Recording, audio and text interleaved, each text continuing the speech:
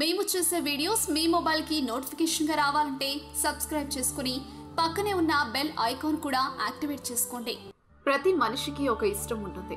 అలాగే తినే విషయంలో కూడా చాలా వెరైటీ వెరైటీ టేస్టులు ఉంటాయి.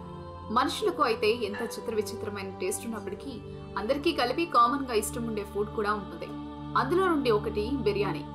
గుడి గురించి గుడిలో ప్రసాదం గురించి మాట్లాడుతూ ఇప్పుడు బిర్యానీ గురించి ఎందుకు? అనే కదా మీ ప్రశ్న.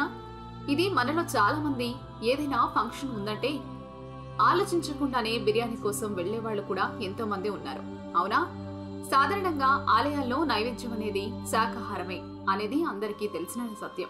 కానీ తమిళనాడులోని మునీశ్వరుని ఆలయంలో దేవుడికి నైవేద్యంగా సమర్పించేది ఏంటో తెలుసా? మటన్ బిర్యానీ. అవును మీరు విన్నది నిజమే. అక్కడి భక్తులకు వేడివేడి మటన్ బిర్యానీని ప్రసాదంగా ఇస్తారు.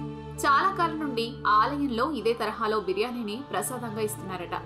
తమిళనాడు రాష్ట్రంలోని మదురై జిల్లా తిరుమంగళం సమీపంలోని బడుంపంపట్టి గ్రామంలో గల మునీశ్వరుడి ఆలయంలో ప్రతి సంవత్సరం జనవరి ఇరవై ఐదవ తేదీన జరిగే ఉత్సవాల్లో మటన్ బిర్యానీని ప్రసాదంగా పంచుతారు. దీనిలో భాగంగా గతేడాది రెండు వేల కిలోల బాస్మతి బియ్యం రెండు వందల మేక మాంసంతో బిర్యానీని తయారు చేసి ప్రసాదంగా అందించారు. ఈ ఏడాది కూడా ఇదే తరహాలో స్వామివారికి బిర్యానీ ప్రసాదాన్ని అందించేందుకు ఏర్పాట్లు జరుగుతున్నాయి. అయితే దీని వెనుక ఓ మంచి పురాణ కథ ఉంది. ఎనభై ఐదేళ్ళ క్రితం ఎస్పీఎస్ సుబ్బనాయుడు అనే వ్యక్తి మునీశ్వరుడు పేరుతో ప్రారంభించిన హోటల్కు బాగా లాభాలు వచ్చాయి. ఆ హోటల్లో మటన్ బిర్యానీ ప్రత్యేకం. దాంతో ఆ స్వామికి రెండేళ్ళ పాటు మటన్ బిర్యానీతో నైవేద్యం సమర్పించిన అనంతరం భక్తులకు ప్రసాదంగా పంచారట. అప్పటి నుంచి గ్రామస్తులంతా కలిసి బిర్యానీ తయారు చేసి ప్రసాదంగా పంపిణీ చేయడం ఆనవాయితీగా మారింది.